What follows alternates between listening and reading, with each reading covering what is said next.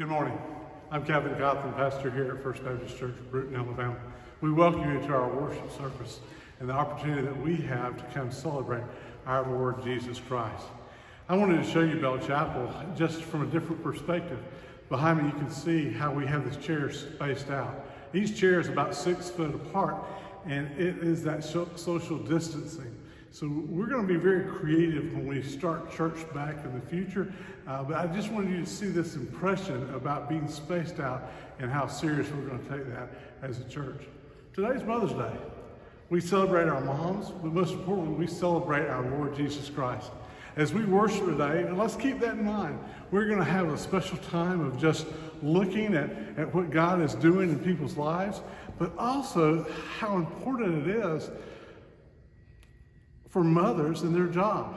I mean, mothers right now are so taxed and so overwhelmed that it's just amazing what they do. Uh, a lot of mothers are working full time and taking care of their kids full time, and, and it's hard. And we do want to appreciate and, and uh, say thank you to our mothers and know how special they are. So today in our worship service, we're going to highlight the mother and how important mothers are. Uh, one of the key scriptures that I think of when it comes to mother and, and what she teaches her children is, is really a scripture that comes from uh, 2 Timothy chapter 3. Paul is writing a letter to Timothy. And as he's writing this letter, uh, and really as a letter of encouragement, in verse 14 and 15, he says some very powerful things. He says in verse 14, But as for you, continuing in what you have learned and have become convinced of, because you know those from whom you've learned it, and how from infancy you have known the Holy Scriptures, which are able to make you wise for salvation through faith in Christ Jesus. What I believe this scripture is uh, saying here, Paul is telling Timothy, he goes, You've been taught the Word of God since you were a child. And I believe that in another letter, he talks about his mother and grandmother and what an influence they had on his life. And in our sermon today, we're going to look at that, that influence of mothers to have uh, in their children's lives. Mark's going to be sharing the sermon with us. He's going to be preaching from this scripture and a, and a couple other scriptures. Uh, but God, I want us to celebrate the, our mothers. I know it's a different Mother's Day than what we normally have. On Mother's Day, we come and support our mother, and I want you to encourage you to do that. But we also normally have baby dedication day. We're not able to do that, and several people have asked me about baby dedication. We're going to do that in the future when we're able to all come back together. Uh, but the reality is, right now, we're not able to do that, but we will do that. Again, it's a different Mother's Day. It's a different time. But we're here to worship our Lord Jesus Christ as we celebrate our mothers. Let's bow together in prayer. Gracious Heavenly Father, we love you. We thank you for all that you do. We thank you for your grace and how you work in our lives. Lord, right now, my prayer is that this service will glorify you in every way. The songs that are sung, the, the scripture that's read, the, the sermon that's preached, may you be glorified completely. Thank you, Lord. I pray this in Jesus' name. Amen. This being our Mother's Day worship service, we've chosen songs today that every age worshiper can sing, from the youngest singer to the most experienced. We begin with a simple prayer, today more appropriate for us than ever, that says, Come fill our homes with your presence. You alone are worthy of our reverence. What a great prayer for us to share together in song. And then we'll sing one of the simplest but most loved melodies ever written, with words that capture God's nature as our loving Creator. Joyful, joyful, we adore thee. And then something different for us in this time of separation. Heather and I are going to play an arrangement of two hymns. This is My Father's World, and He's got the whole world in His hands. I encourage you to sing along, and this being an instrumental piece, you can choose the lyrics that you sing. Uh, wind and rain, the whole world, tiny little baby, you and me, brother, or perhaps today, he's got father and mother in his hands. And I really encourage you, let the kids lead that song. Join us as we worship today.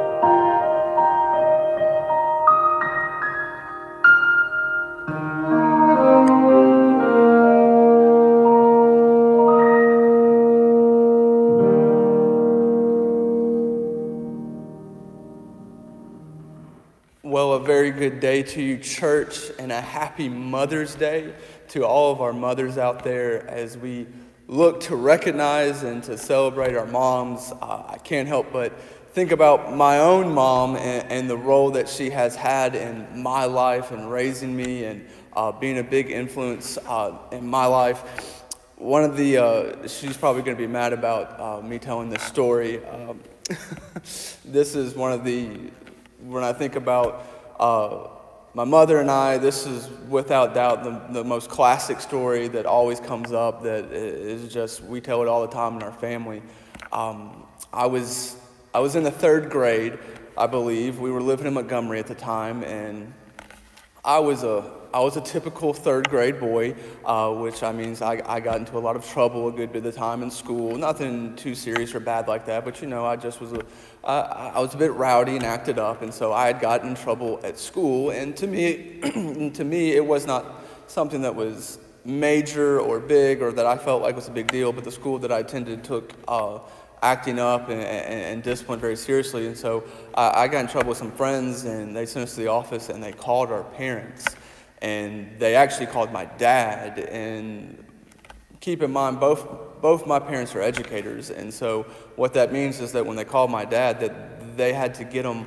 Um, they actually had to get him out of the classroom to come up to the office to answer that phone call. So I knew that I was in trouble. Like, I, I know that I'm in big trouble because they've actually had to call my dad at the classroom uh, to tell him that I'm in trouble. And so I knew it. I knew I was in big trouble. I knew when I got home that it, it just it wasn't going to be fun. Um, but the end of the day comes, and my mo- mom is coming to pick me up. And I'm standing there with some other friends, and, and we're hanging out, and we're, we're kind of chatting and stuff. And I don't know quite how the conversation went, but uh, evidently my mom alerted to the fact that she was like, "Hey, would, would you want them to come over and hang out for the for the afternoon?" And I knew what the right answer was. I, I really did. I knew what the correct answer was. I knew that I was in trouble. I knew that my dad knew that I was in trouble. But right in that moment, I, I realized my mom doesn't know that I'm in trouble. She has no idea that I've got in trouble at school. And like I said, I knew what the right answer was, but I did it anyway. And I said, Sure, mom, I'd love for them to come over today. And so we worked it out, and they came over, and we went back to our house, and we were out in the front yard playing wiffle ball and hanging out and having a great time. Well, once we got home at some point, whether he was able to get free from work or whatnot, or my dad had left a voicemail, he gets word to my mom that I got in trouble at school and that I am to, when I get home, just go straight to my room and wait for him, that I, am in big trouble. Um, so my mom was not happy that I had lied to her and that I had deceived her. And so she comes outside where we're playing wiffle ball and she grabs the nearest thing, which happens to be the wiffle ball bat, and she proceeds to uh, spank me with the wiffle ball bat. And um, it was one of those wiffle ball bats that, was kind of. It, it didn't hurt at all. I didn't feel any any pain, but just the embarrassment of being uh, whipped with a wiffle ball bat in front of your friends was uh, was was pretty funny. Uh, it's one of those things.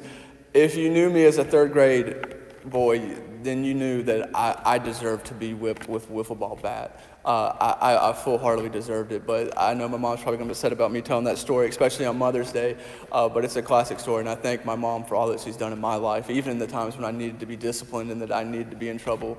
Uh, but my mom's a, a, loving and kind person, and we do just want to uh, recognize and celebrate our mothers on this uh, special day, on this Mother's Day. Um, Brother Kevin uh, has thankfully allowed me to preach the word this morning. He is um, he's off with his family on this Mother's Day weekend. And so I thank him for allowing me the opportunity to speak the word and preach the word to you this morning. So if you have your Bibles, Brother Kevin already read the verses of where we'll be at, which is mainly we'll be in 2 Timothy chapter 3, verses 4 and 5, or 14 and 15. Uh, but I want to start in Proverbs 13, verse 22. I'll read that briefly. You don't have to turn there. Proverbs chapter 13, verse 22 says, a good man leaves an inheritance to his children's children, but the sinner's wealth is laid up for the righteous. Um, don't get caught up with it being Mother's Day by that saying a good man, but I, I really want to focus in on that an inheritance to his children's children. And what I really want to speak about this morning is passing on a spiritual inheritance to our children's children. And while this message, I'm going to give us a challenge, uh, predominantly, obviously, to our mothers on Mother's Day. But I'll be honest, this does not just uh, only apply to them. This also applies to parents as a whole, mother and father. This applies to grandparents. This really applies to us as the church as a whole with our children and our students and the uh, children's ministry and the youth ministry. But if you have your Bibles, if you're in 2 Timothy chapter 3, verses 14 and 15, I'm going to reread those again for us. Um, and this is what Paul, writing to Timothy, says in verse 14. But as for you, continue in what you have learned and have firmly believed, knowing from whom you learned it, and how from childhood you have been acquainted with the sacred writings which are able to make you wise for salvation through faith in Christ Jesus.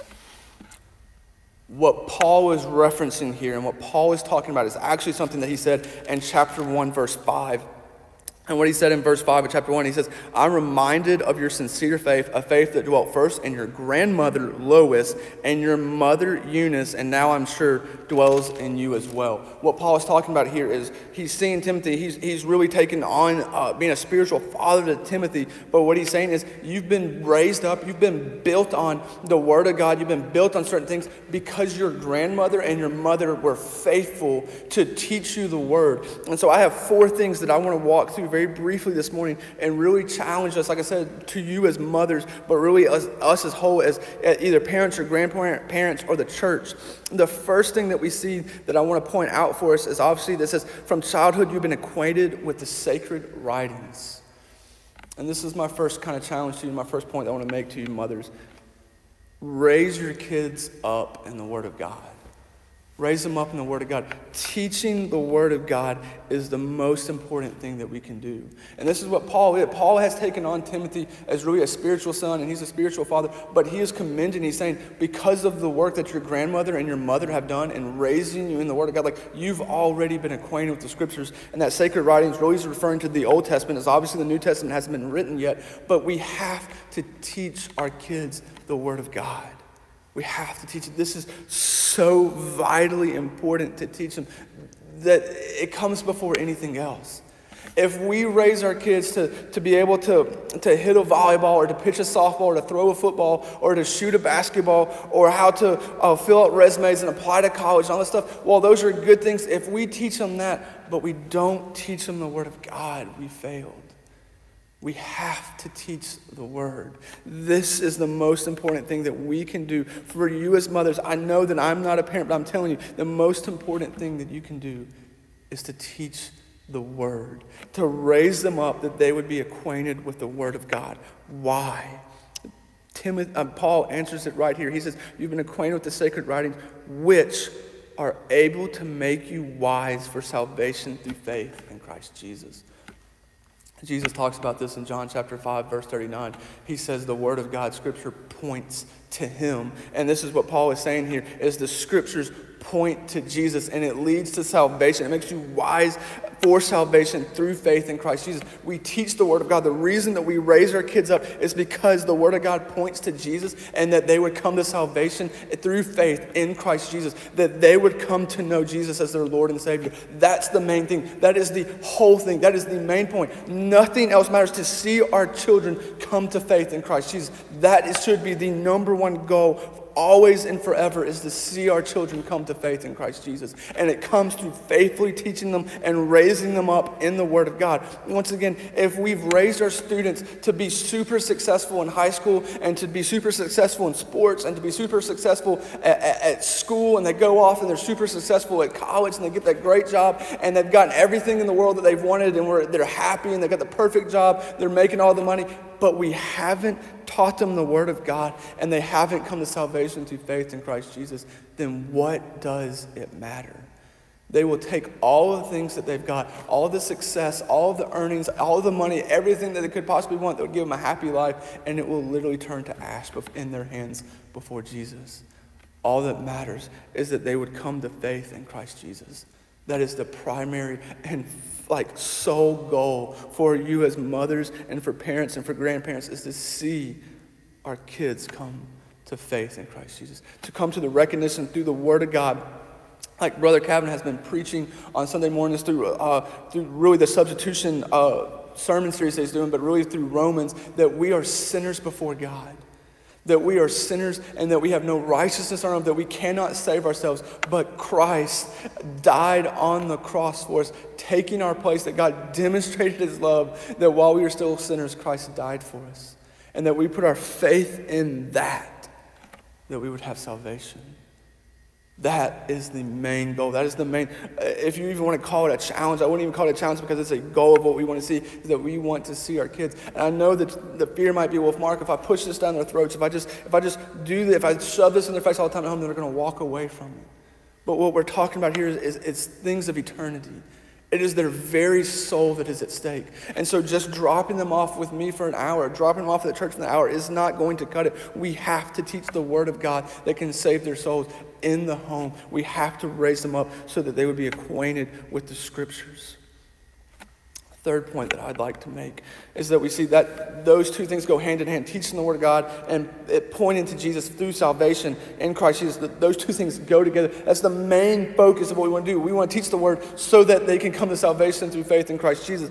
But another thing that we see off of that, of what Paul is teaching Timothy, and what he really talks about in his first letter as well, is the guarding against false teachers. And what we see is that when we raise our children up in the scripture in the sacred writings, is that they come to, like, they have what, is, what will make them wise to salvation through Christ Jesus, because all of scripture points to Jesus. But what Paul is also able to say to Timothy is because you've been acquainted, because of what your grandmother and your mother have done for you, you are also able to have been raised up in the Word of God to be on guard against false teachers. And so we have to ask the question are we raising our kids up, teaching them the Word of God so that they would recognize when the enemy is lying to them? Or would they recognize false teaching or false teachers? Or when the enemy shoots his fiery arrows at them, they would recognize it because they've been studying the Word of God, they've been raised in the Word of God, and so they would recognize false teaching. Paul is able to tell Timothy, he says, You've been raised in this, and so you're on guard against this. And he's warning them against them because we know, we know that our students are going to hear false teaching. False teachers are out there, false idols are out there. They are seeing it now in middle school and high school. They'll go off to college in here and off into the workforce, and they will have this throughout their life. Are they able to combat it because they have the Word of God? And they've been brought up with it, they've been acquainted with it, so that they know when they hear something, they're like, whoa, that's, that's not what God's Word says. That's opposite of what God's word says. Are they raised and acquainted with it enough that they would recognize false teaching and be on guard against false teaching because they will face false teaching. The last thing that I'll point out for us this morning is this we see that spiritual inheritance that I talked about. You know, we want to see the spiritual inheritance passed on from our children to our children's children. And we literally see this here in the scripture. What is Timothy doing? Paul is writing to Timothy, uh, commending him, recognizing him that he is um, he is the leader and the pastor of the church of Ephesus at this time. And the gospel is going forth because of Timothy and him preaching the word. And Paul is going to write to him, tell him, continue to preach the word of God. All of the word of God is profitable for teaching. It's been breathed out by God. That's the very next verse in verse 16. And he's commanding him to do that. Uh, and we're seeing that the church of Ephesus, like Timothy is there, and people are coming to know uh, Jesus as Lord, and they're bowing the knee to King Jesus because of Timothy. But why?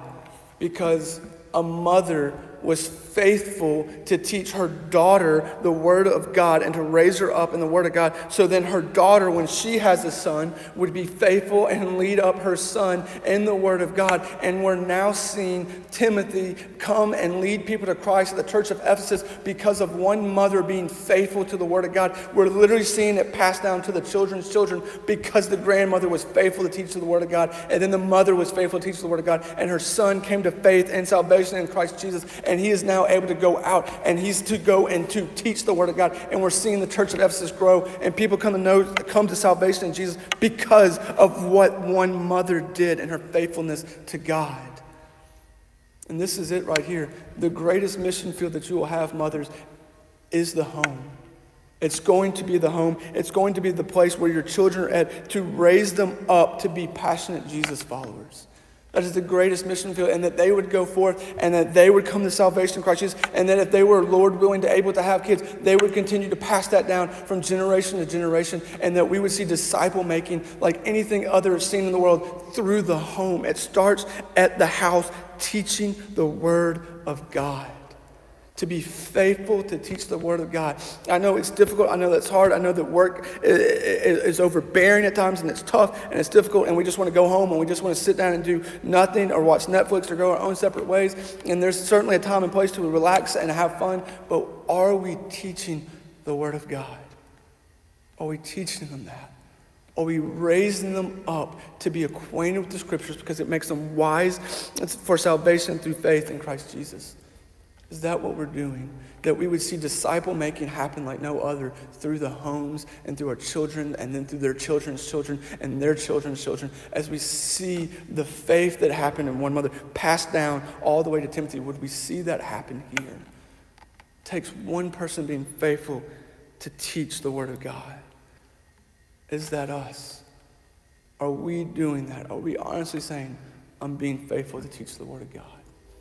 Let me close this in prayer. Father, we do just thank you today. We thank you for your goodness, for your mercy, for your love, Father. We thank you for just uh, all of our mothers out there who have played a part in our lives, and an influential part in our lives, who have helped uh, raise us and make us into the people that we are today, Father.